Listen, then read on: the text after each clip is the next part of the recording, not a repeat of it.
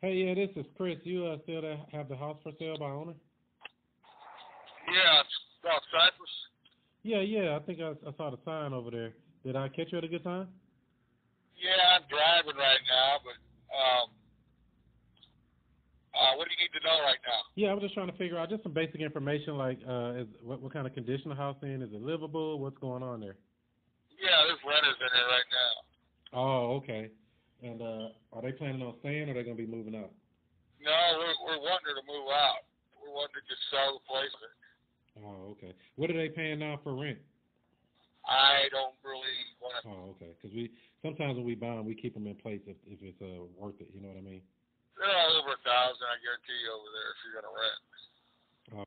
Yeah. And, and so, what's your main goal? You said you're just trying to basically get rid of it, and Yeah, we're five thousand for it. We just want to sell it and be done with it. Hopefully, still get out of there before we sell it. If not, we got a bunch of people's already called. We had some people tell us that they would basically buy it, give us a check, and they would uh take care of getting her out of there. oh, okay. So you do want to sell it with the tenant in place? That's what I was trying to figure out. Well, if she gets she moves out, that's fine. We told her uh, May first we're having walkthroughs.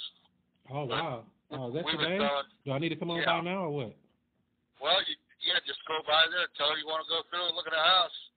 Because Okay. I'm not gonna. I mean, she's kind of uh, uh, a thorn in our side, trying to get her to move out. Because we told her since the first of the year that she needs to find another place. If she hasn't even started looking, I guarantee you. Oh, really? And what was your Yeah. name again? Huh? What was your name again?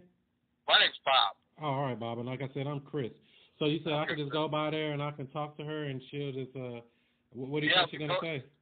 We told well, we told her we're gonna tell them to just go on by and uh, they're gonna be coming in to take a look at the house. Wow. And what was her name? Who do I ask for there? Oh God, I don't even know her name. My sister, she, does, she does all the rent. She just gave me. I put my number on there because my sister didn't want her phone blowing up.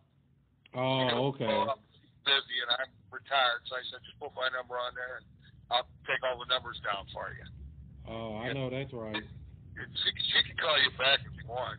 Yeah, that would be better. Yeah, 'cause I like to, you know, you know, make sure I got, you know, the right stuff and everything. 'Cause so basically, what we're looking for is like three more houses to buy here by summertime. So we buy Yeah. them all over St. Louis, and you know, if we got to fix them up, that's fine. Even if there's tenants, you know, we usually can work something out with that. So our main thing is to make sure it's mutually beneficial for you and for us. So uh, that's our main goal. So, so you say it's best to talk to your sister? Yeah, I'll. I got your number on my phone. I'll give it to her, and uh, I'm sure she'll call you back. But we're we're not looking to pay any cost. Yeah, yeah, yeah. We want to make it easy for you. So that's my main goal is to make sure that you don't have to come out of pocket for anything. We want to make this as easy as possible. We just want to make it a seamless, easy transaction for you.